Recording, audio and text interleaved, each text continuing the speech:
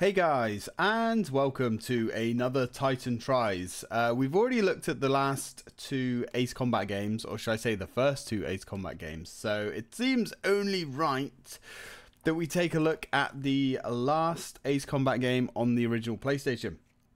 That is Ace Combat 3 Electrosphere, which actually, funny enough, is a game that I never really played much of as a kid, from what I can remember. I was having a good long hard think about this the other day, and I can.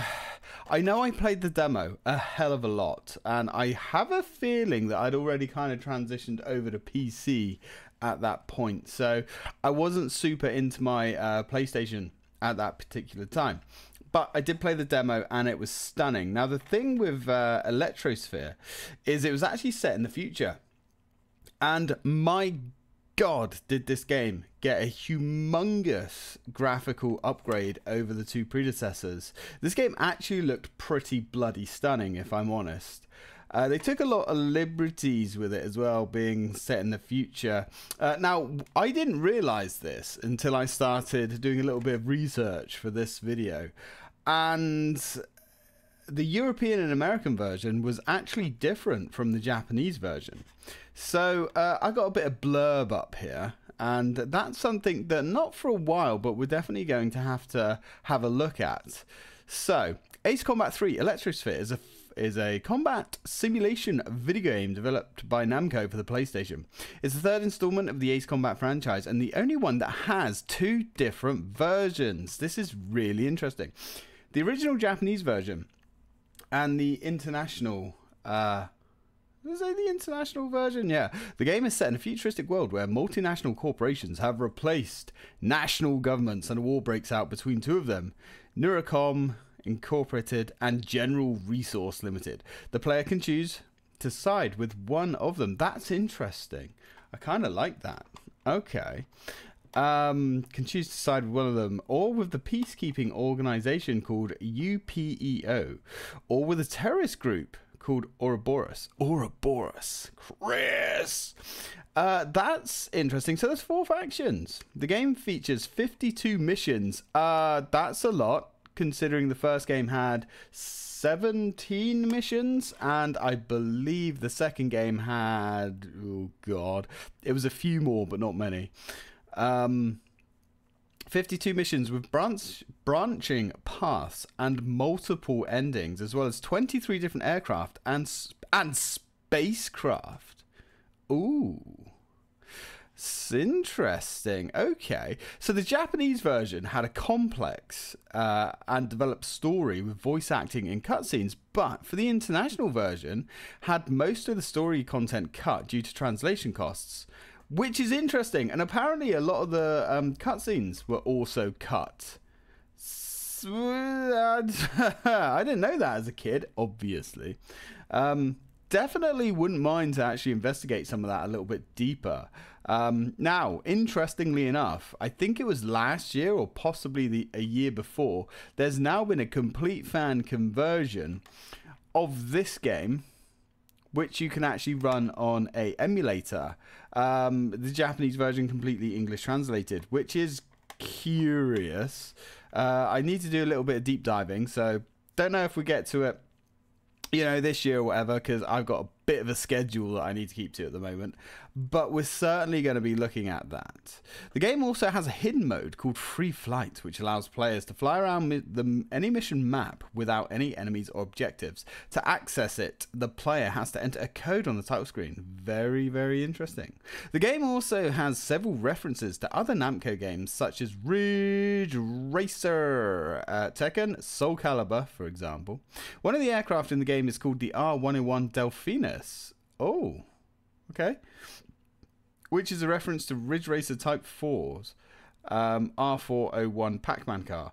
Ridge Racer, that's you know, I was never like huge into Ridge Racer. I think I had the original like when the PlayStation first came out, but yeah, that's about it. Um, I did play a bootlegged version of Ridge Racer Type 4, and that was really, really good. Um, maybe we'll fire that up for a Tytan Tries at some point. Um, the game's soundtrack was composed by four different composers, each with their own style and genre. Okay. Soundtrack was praised by critics and fans for its diversity and quality. Very interesting stuff. So, like I said, back in the day, there's a very, very nice looking uh, disc, and of course, an advert for the Dual Shock there as well. Um, yeah, so back in the day, I only had the demo, and I did play the absolute shite out of it. Uh, probably one of my most played demos ever. But on the back, it says, In the future, closer than you could imagine, two enterprises control the balance of power. As the military and technology take opposing sides, your role as a pilot of of a peace enforcement organization is to subdue the conflict. Engage the enemy in dogfights, ground attacks, high altitude takeouts, canyon chases, and time restricted missions. Uh oh, we don't like those. You must choose a side. Make sure it's the right one. Uh, combining tactical, strategic, and combat skills to create the best mission based fight simulation on PlayStation. Electrosphere is a sophisticated and thrilling addition to the awesome. Don't don't suck yourself off like but you know awesome ace combat series and you know they're not wrong it is an awesome series uh, one that's very near and dear to me so without any further waffling uh, let's take a little peek at the actual game, shall we? One second, I shall switch over. We're going to be emulating it because it's just easier, to be honest. And if I emulate it, I can use my Elite controller, which a little bit better than those old beaten up old uh, Dual Shocks.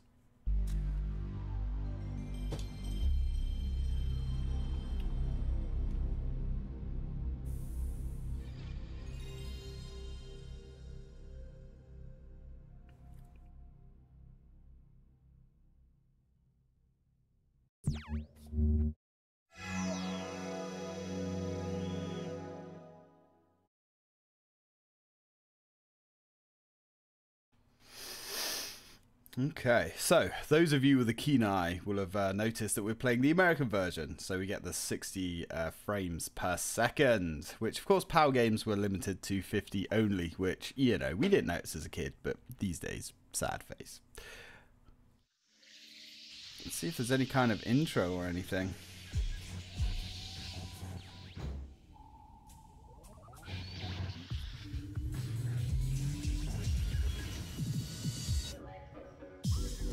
Oh man, I like it.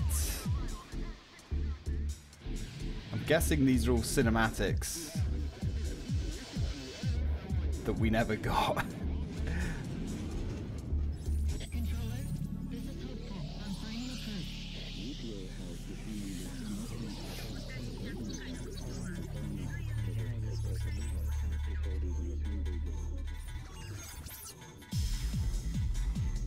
Oh, I like the music.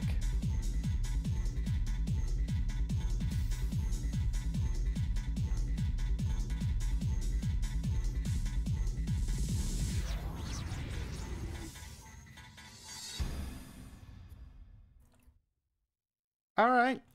Okay. Uh, certainly, uh, we've come a long way from air combat, haven't we? All right. Well, let's uh, fire up a new game. Oh, hang on. Ah, reopen. So there's no options, question mark? Let's have a little look, shall we? Ah, here's the meat and potatoes. Right, let's go for options. Uh, controller, I guess. Yeah, okay, so we've got control easy or normal, I suppose, instead of novice and expert. I'm guessing uh, normal is what we want. Response, neutral zones, and all that good stuff. We're not going to fuck with any of that. But we are going to go to game. Ah, that this is just settings. I see. All right. Uh, missions. There's no like cutscene or uh, okay. Ooh. Ooh. Alright. Neural Air Force is transporting military supplies over the no-fly zone above, blah, blah, blah. Wow, is this not read out to us? So this is a mission titled Transports. Alright. It's basic sort of like transport mission. Looks like we've got drones and things to contend with now. Excellent. And we have essentially a futuristic Typhoon. Typhoon 2. How curious. I remember this from the demo, actually. Uh, it felt really interesting to be flying the uh, the EF2000E Typhoon 2. Of course, there isn't going to be a Typhoon 2. Typhoons are being retired in 2035 and they're going to be replaced by the UK's sixth generation fighter Tempest, which is just uh, on the drawing boards right now. So, alright, let's go. So we can select the Vulcan cannons and standard missiles. Alright. Let's go. Let's get a few missions of this one done.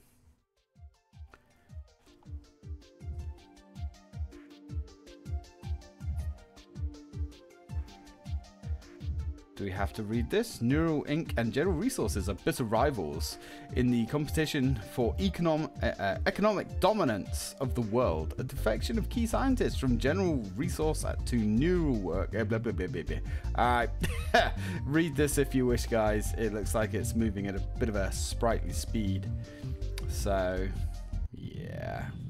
Alright, so into the combat. Ah, so D-pad actually gives us a little bit of a look around. Look at the graphics, guys. I'm not even taking a piss. This looks so nice for a PlayStation 1 game. Ah, oh, look. Look at the gun. There's actually like drop physics and stuff on the gun. I like it.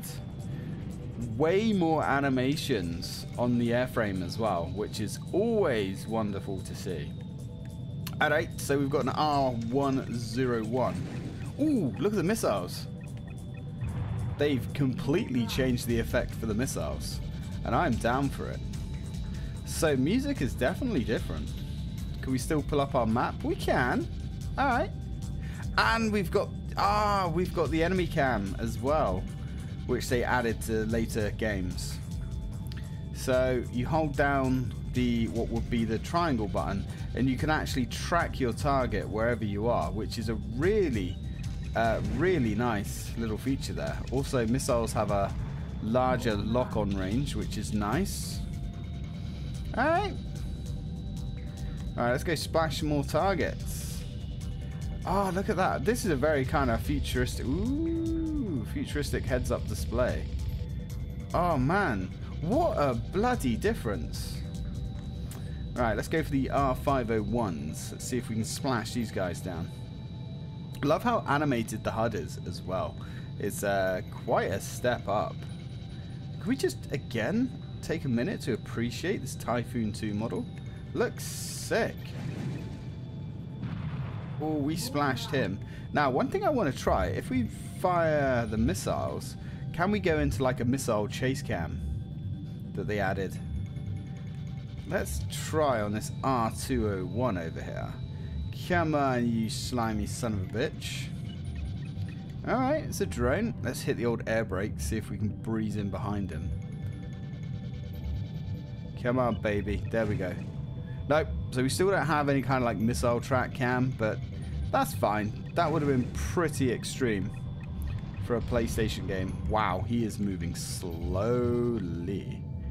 Got a mission timer tracking along behind at the bottom there. So, I wonder how, to be honest, how we would do a LP of this with so many missions and factions. I don't think, ooh, I don't think, that's fine, we're going to stall. We want this guy to blow past us, if he actually will. Come on, he is moving slowly. Literally level pegging with us. Alright. There's some physics going on with this uh, handling as well. It's a lot heavier, a lot less arcadey. Uh, I like it. Maybe there is some simulation physics going on here. Come on, splash that drone. All the missiles actually did a little bit more to track there, which is also curious. Okay. Yep, we can see the rudder effect going on on the plane as well. The flaps are moving as we're swinging this thing around, which Again, I'd really like to see. We only have like 59 missiles left. Is that a cause for concern? Oh, Jesus. So what are these things? Because they don't appear to be attacking us. They some kind of decoys? Who knows? Come on. Yeah, they're really difficult to actually get behind because they are so slow. Nice. So we're going to have to actually like switch up tactics here. You can't just play other Ace Combat games and jump into this one without, uh, you know, rethinking some strategies. But that's okay. We like this. It's always nice when there's more learning going on. There's a nice bit of heat haze coming off the afterburners there as well. I like it. I mean, it's obviously quite a low resolution game. Whoa, Jesus. But you can see how they started to push that little PlayStation. I mean, the draw distances as well, and the detail uptick just on the uh, just on the ground there is just insane. How much uh, they improved that. And I think that was fun as well. Like, you know, back with the, um, you know, earlier consoles, when developers really started to put a bit of budget behind their games and started to push the hardware a lot more, um, the the uptick in the visual fidelity was really impressive at times. So can we? I guess we just can't reach out and touch this guy. Oh, there we go. Right. So the gun's range is actually a little bit further than the than the uh, game actually leaves you to believe. All right. Well, we don't need to see a replay. So we got some decent kills. We got oh, we get performance rating of D because we gave the enemy the D. Yes, that's exactly what we did. Let's do another mission. Alright. Neural networks. Uh, what's that? Wallapolo Mount. Okay, that's gone. Scattered throughout the mountains. Looks like we're hitting radar sites this time. Okay. So I don't know how the performance is done. Are we just... Do we get performance on just essentially uh, how quick we get through the mission? Or is it like, you know, how quick we are, how accurate we are? I don't know.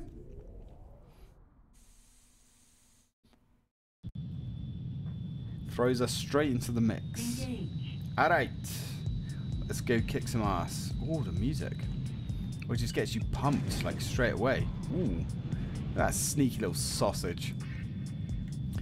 Come back to daddy. Yeah, Eurofighter 2, eh? I like it. I don't know uh, when this game is set, like how far into the future it is. Whether there's somewhere that uh, actually mentions that, I don't know. But also, being slightly futuristic, they get to take a lot of liberties with the airframes. Get to come up with some really interesting ideas. Because it's not quite as grounded in reality with some of the other games with the strange real kind of theme that they were going for. So radar sight. Let's hit the deck. Oh god, look, there's some physics there. There really is. Kind of skimming. That's interesting. So this thing actually has some weight to it. it. Actually starts dropping heavy to the ground. You can't just hit the stick back and start instantly traveling up. You actually have a bit of momentum with it. This is very impressive. Now remember the demo level, you were uh, engaging... You was in a bay somewhere from what I remember and there was some ship combat I think and a few other different things. I like the air velocity indicator there as well. You see the wind rushing past. Not quite contrails, but um, yeah, then maybe. Right, let's knock these radars out. Obviously the Typhoon was uh, a multi-role fighter, or is. Didn't start life that way. Started as an air superiority fighter, but then was retrofitted into a kind of multi-role kind of um, airframe. missile defense nested nicely in that mountain there. Must have been asleep at the wheel, but we're happy with that. I like it. I like how it controls. Oh, oh, oh, we skimmed. Oh, we skimmed. That was quite cinematic there with those rounds being rattled off into the back of our heads. Come on, baby. Let's get that loop. Tuck background and dust this bastard. Alright, got you fucking padlock, son. I don't like the angle. We're not going to be able to pull up, are we? Ooh, fuck me. No, we're good, we're good. Nah, what are you worried about? We're fine. Everything's good. This is why we get paid the big bucks. Nah, I don't like that angle. See, if this was the uh, one of the other two games, you could just point your nose down, let loose a pair of missiles, pull back up. Robert's your father's brother. But We've got a little bit of gravity to fight here. And man, it feels nice. I'm wondering if the levels are going to be longer. Probably. Let's go for these bastards up in the sky here. See if we can't... Nah, it's never going to... Oh, I was going to say, never going to hit. No way, but it did. Waste his ass. So we've got actual proper... Yeah, you get little contrails coming off those guys which is a really nice effect. Game runs nice and smooth as well, but then, yeah, we're emulated, so, you know, take that with a grain of salt, I guess. Some of the uh, ones on the 360, and I believe the one on the original X, uh, not original Xbox, the Xbox One, they didn't run brilliantly. There's definitely some frames drops in some of the bigger combat scenarios, but you know, frame rates weren't exactly uh, that much of a talked about thing during last generation. I think frame rates are one of those things, really. Uh, of course, we all want 60 FPS. 60 FPS should be the gold standard. I do agree with that. Um, and higher if possible. But uh, of course, you know, if you're buying a console, there's only so much that they can do with that. Do you remember the PlayStation 5? Uh, Sony promised 8K gaming with the PlayStation 5. 8K, really? The box struggles with uh, you know 1440p. Plenty of games are actually 1080p on the PlayStation and Series X. Uh, yeah, I think 8K is a little bit of a pipe dream. And as for the 120 FPS, uh, yeah, I, I'll don't hold your breath. I know there are some games that run as close to 120 FPS as they can, but they don't really ever get there. Alright.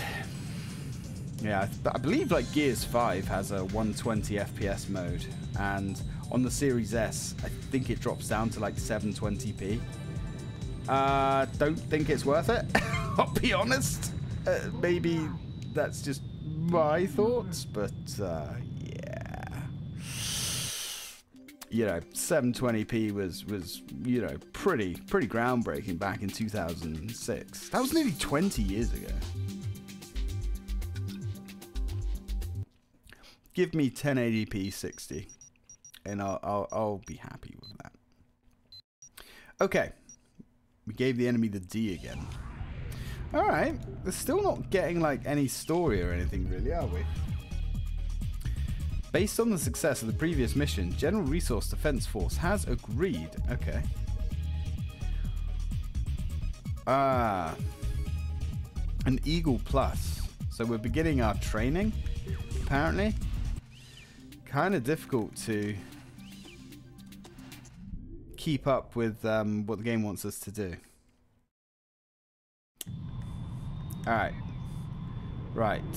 Follow my lead at a radius of no more than 1,000 feet.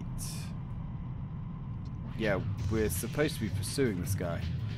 So we need to keep within about a thousand feet of this guy. Got ya.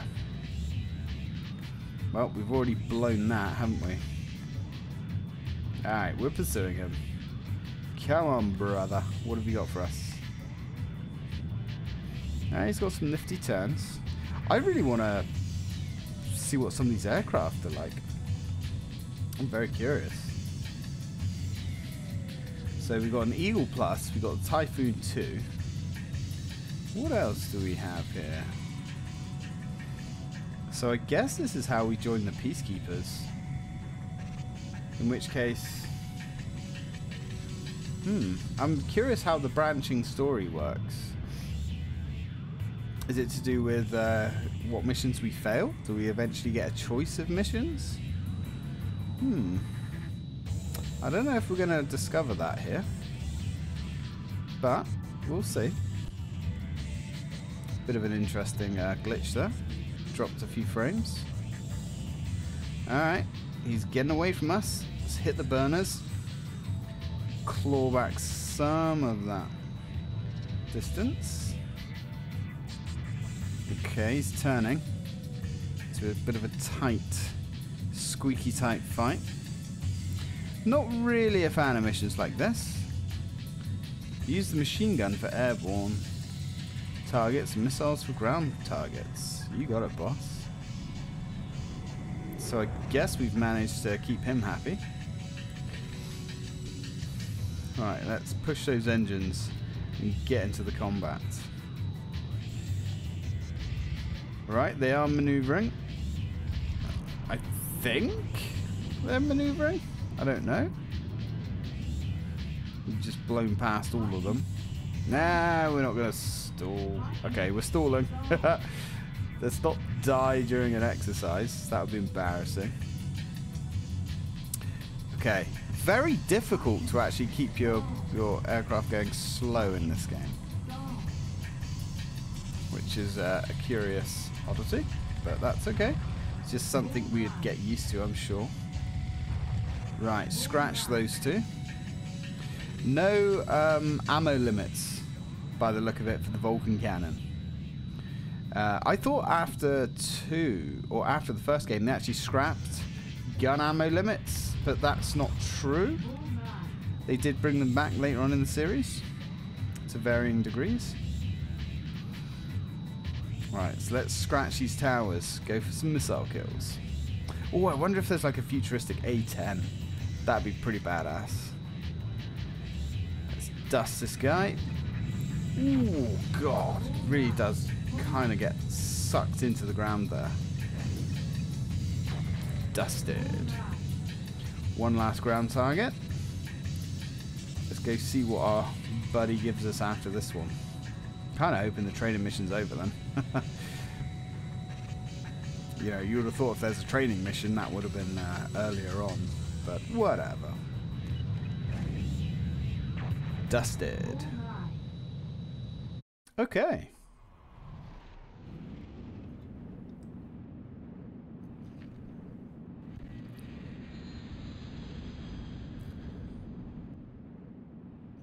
What is that?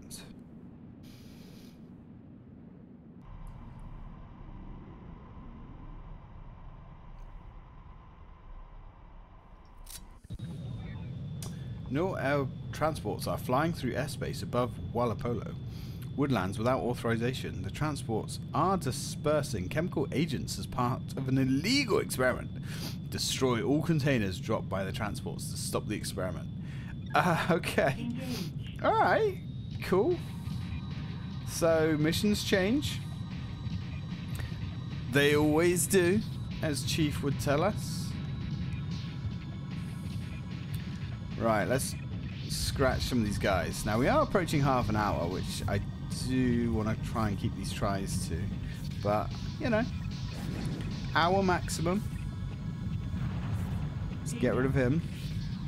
These guys aren't being super aggressive. Wow, this guy's a clip away. Let's hit the burners, close in. And give this guy a good old punch in the nose punch up the ass, actually. Oh, this is the bomber. Alright. Or oh, I say the bomber, it's the thing that was dropping those containers of chemicals down. Agent Orange, is that you? It's like our wingman's just spinning around up here. Not really up to much. That felt good. That felt really good. Alright, where are these? Oh, they're up high. Alright. Can we actually start locking onto these things? Have we got to hit them before they hit the ground? Maybe. Let's go for a loop. Punch it.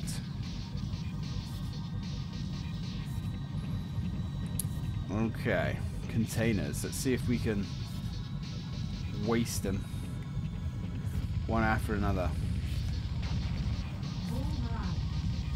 Well, not quite. Not quite. Doesn't appear that we can actually lock onto these, but I guess they don't have any kind of heat signature or anything like that. But you wouldn't have thought we'd be using just standard IR missiles this far into the future. You'd have thought they'd be radar guided or maybe optically guided or something. Or maybe I'm just nerding out too much. It'd be nice to get some uh, energy weapons on some of these craft as well. I'd be well down for that. Alright. Let's pepper this thing with some heavy shells. Alright. Okay. So I'm guessing we passed our training.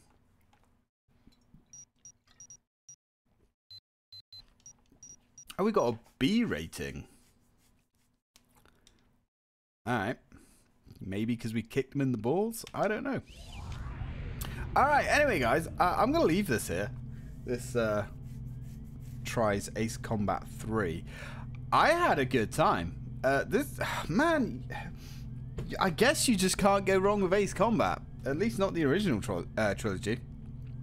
Uh, in time, I can't see it happening this year, but um, I'm going to make a note. We're going to try and have a look at Ace Combat 3, the Japanese translated version, uh, if I can find out where all the information and files and all that good stuff for that is.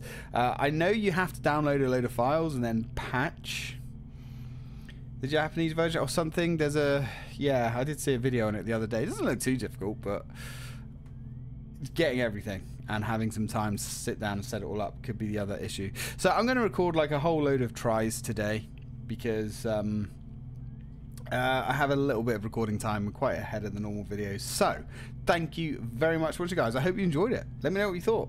And as always, till next time.